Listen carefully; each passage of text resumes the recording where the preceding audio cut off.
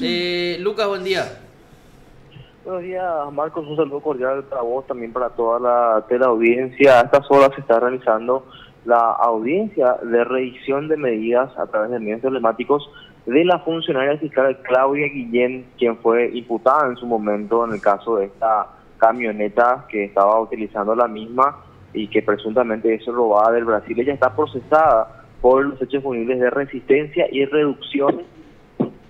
Ya ha planteado esta revisión, que reiteramos, está haciendo a estas horas de la mañana, y solicita al juez penal de garantías Raúl Florentín que revoque la prisión preventiva y que le otorgue medidas menos gravosas, ya sea el arresto domiciliario o en su efecto la propia libertad ambulatoria, como en su momento también planteó el propio fiscal Oscar López Laterza. Así que estamos aguardando que culmine esta audiencia de revisión y por supuesto la resolución del magistrado de garantías. Entonces, esto se está realizando, reiteramos, por medios telemáticos a estas horas de la mañana, Marcos. Ya, eh, Mira, voy, y, ¿qué, ¿qué, voy a decir? ¿Le van a dar su, su, su libertad? Hay que ver, depende del criterio, creo, yo del juzgado en este caso, Marcos, y de si es que actualizaron ya la documentación de aquel inmueble que habían ofrecido, que tiene un valor de 320 mil dólares aproximadamente.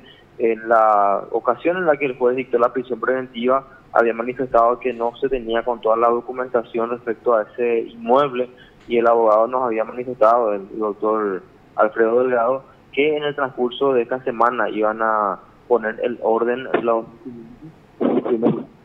eso justamente una apelación, pero finalmente cambiaron de idea y plantearon ya directamente la revisión. Por ende, me imagino que ya eh, tienen por lo menos eh, algún documento nuevo respecto a ese inmueble o caso contrario van a, presentar como fianza eh, otros inmuebles, ¿no? Así que veremos en ese sentido qué es lo que plantea la defensa y qué es lo que va a resolver el, el magistrado. Ya, hay que ver. Ahora recibí la comunicación del doctor Mirko Balinotti. Eh, y me dice que él no fue el juez que recibió la acusación. Fue Magdalena Narváez la que recibió la acusación y quien estuvo de turno ese día que se tenía que presentar la acusación o interinaba el juzgado número 5 era el juez como Humberto Tazú. Humberto Tazú. Eh, mm, y el día que se presentó la acusación. Sí, que se presentó la acusación era Humberto Tazú y que la que al final dice dar, dar el trámite de recepción de la carpeta fiscal eh, de la acusación Magdalena Narváez. Ahora bien, sí Mirko Balinotti estuvo en el, la audiencia preliminar, eh, donde se llevó a cabo la, la, la, sustanciación de esa acusación, ¿verdad? Porque se, se presenta la acusación, después se llama audiencia preliminar y ahí sí ya estuvo Mirko Balinotti y quiere que aclaremos esta situación y claro que vamos a aclarar, ¿verdad? Ahora bien, ¿sabes qué lo que es lo que, lo que cae como una bomba atómica en medio de todo, toda, toda esta información? Sí. Que hay una acordada de la Corte que suspende los plazos en todo enero del 2019.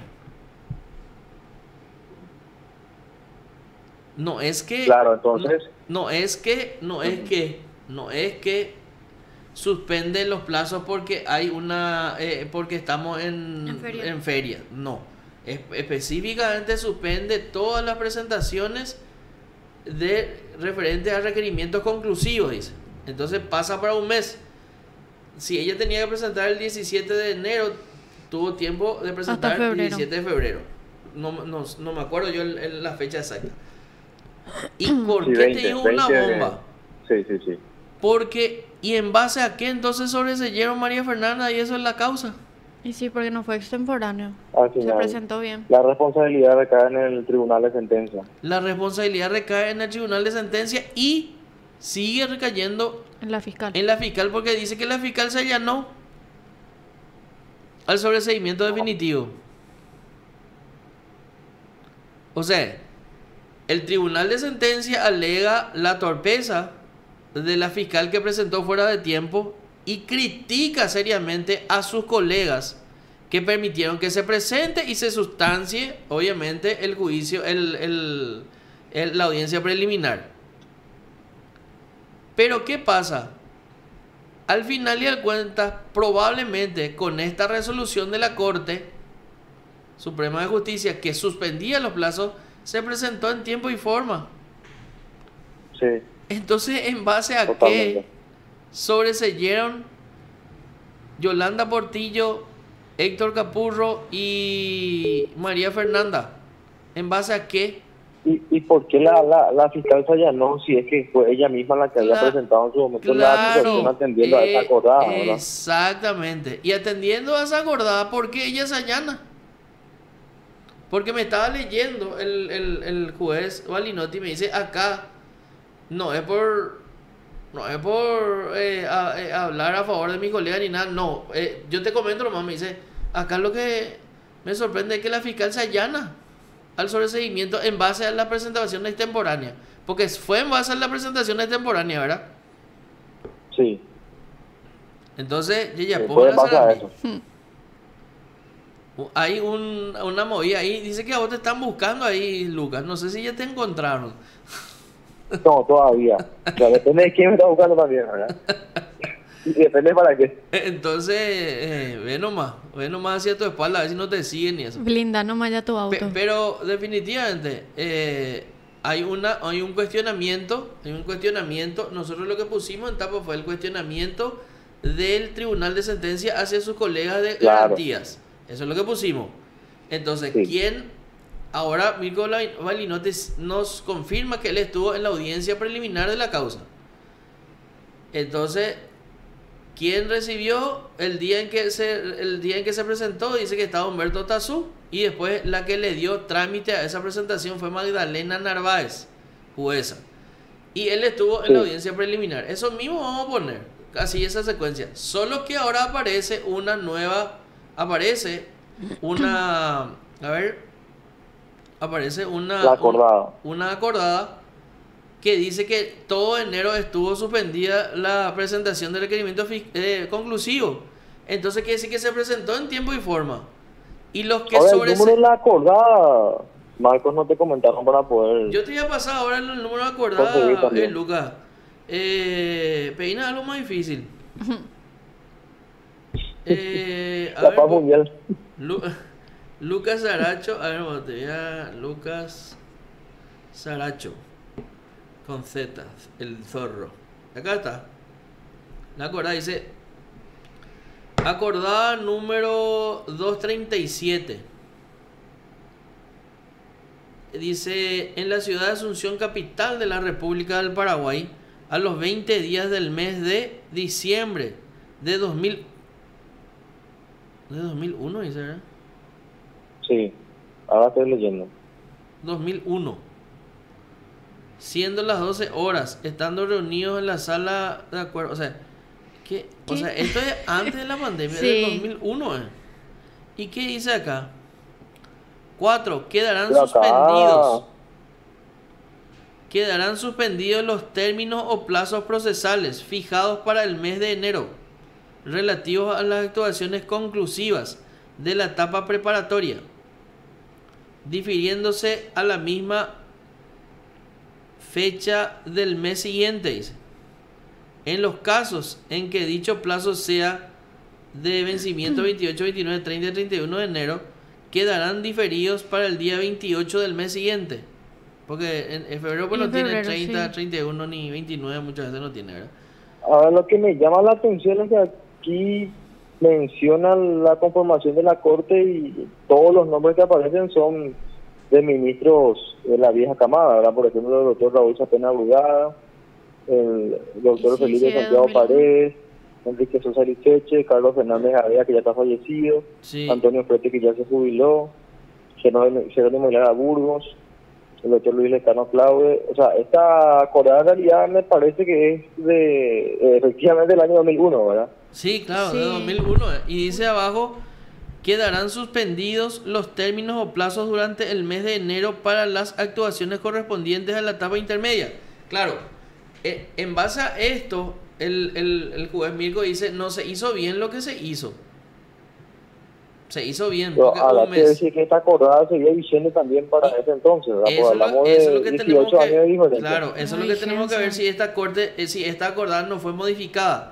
Ahora bien, el doctor Balinotti, si bien es cierto, no fue el que recibe la, la acusación, él estuvo en la audiencia preliminar.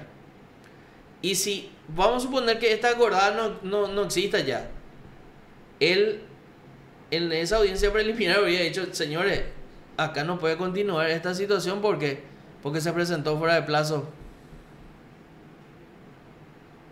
Claro. Yo no sé ahí si en ese momento tiene la posibilidad eh, de, del 316, digo, era, ¿verdad?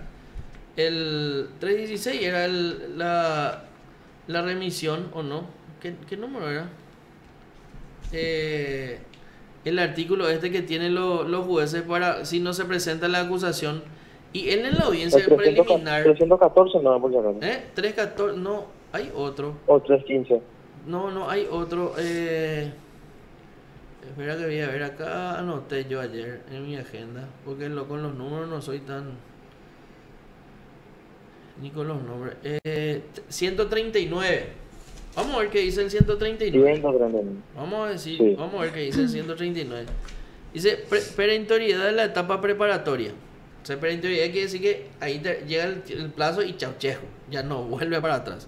Cuando el Ministerio Público no haya acusado ni presentado otro requerimiento en fecha fijada por el juez y tampoco haya pedido prórroga o ella no corresponde, el juez intimará al fiscal general del Estado para que requiera lo que considere pertinente en el plazo de 10 días. Transcurrido este plazo sin que se presente una solicitud por parte del Ministerio Público, el juez declarará extinguida la acción penal sin perjuicio de la responsabilidad personal del fiscal general del Estado y de la fiscal interviniente. O sea que acá, acá habla del juez que recibe básicamente esa acusación y la que el que recibió fue Otazú Y Magdalena. el- y, Ma- y Otazú recibió y enseguida, después, en, en marzo, en marzo, le dio trámite eh, Magdalena. O casi eh, un mes después otra vez. Dijo, presentada la acusación, fíjese seguro audiencia o, o lo que sea, ¿verdad? Entonces, acá hay un, un yabor ahí. Si, si la acordada, si la acordada no, no está ya en vigencia, tenemos que hurgar un poco en la actuación de Otazú, de Magdalena, y ver un poco hasta dónde llegaría la responsabilidad de, eh, de, Mirko Balinotti. de Mirko Balinotti al continuar la causa, ¿verdad? Porque para eso tenemos que hablar con María Fernanda, para eso tenemos que hablar con, o con Yolanda Portillo o con Héctor Capurro, que nos explique un poco en base a qué. Ellos no, no, no, no, no dicen en base a qué, o sea, no dicen la, la acordada tal ya no existe y eso ya no se usa. Pero nadie se acuerda de esta acordada, porque yo ayer le estaba preguntando a jueces y juezas de, de- garantía y eh, me dijeron, no, no, en enero se presenta. En enero vence, en enero se presenta. Entonces seguro que ya no, no, no estaba en vigencia. Y nomás. probablemente, y probablemente. Pero vamos a ir hurgando, ¿verdad, Lucas? Sí, señor. Vamos a consultar a ver si es que podemos obtener más datos sobre la vigencia o no de esta acordada. Gracias, Lucas Zaracho. Hola, Buen señor. fin de Hasta semana. luego. Igual, igual. Usted está escuchando PDS. No asustó, ese no es Alberto, ¿verdad?